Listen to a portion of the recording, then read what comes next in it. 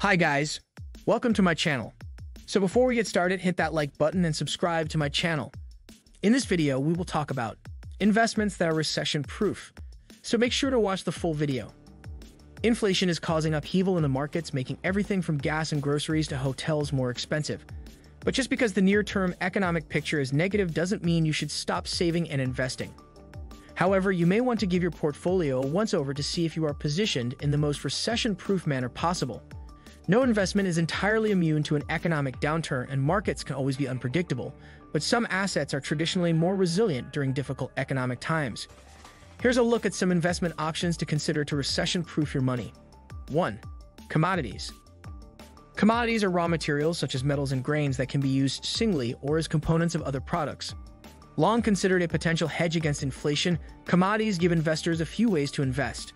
The easiest, and perhaps one of the less risky, is through a mutual fund that invests in businesses that are involved in commodities, mining, energy, or agricultural companies, for example.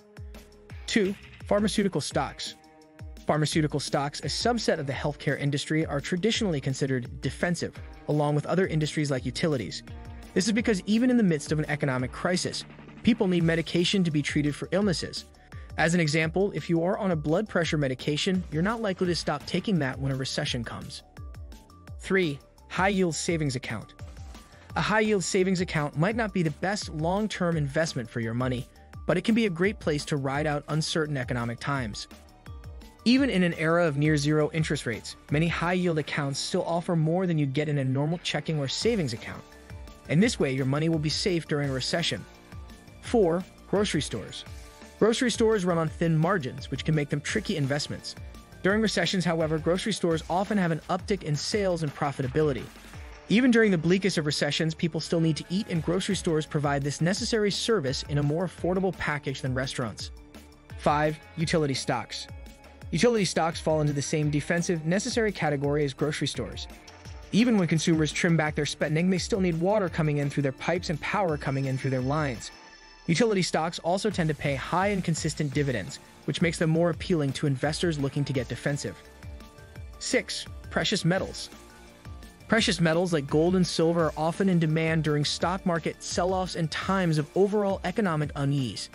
The reason is that precious metals are seen as a store of value, something tangible that investors can physically hold onto while their intangible assets, like stocks, go down in value. 7. Rental properties Housing as an investment isn't particularly recession-proof. In fact, during major economic traumas, housing prices tend to go down, although that hasn't been the case in the present downturn due to the effects of the pandemic on the housing market. But rental properties can still be defensive in economic recessions because of the passive income they provide. 8. Companies with solid balance sheets. During a recession, particularly a long and uncertain one, it pays to find companies with the strongest balance sheets. As sales dry up and expenses continue, companies without large cash reserves or other assets to help them weather the storm are the most likely to suffer, with some folding up shop entirely and never coming back. 9. Certificates of deposit. Certificates of deposit are in a similar category to savings accounts when it comes to safety. Both are insured by the Federal Deposit Insurance Corp for up to $250,000 per depositor CDs typically pay higher rates than standard savings accounts and may pay as much or more than high yield savings accounts. 10. Money market accounts.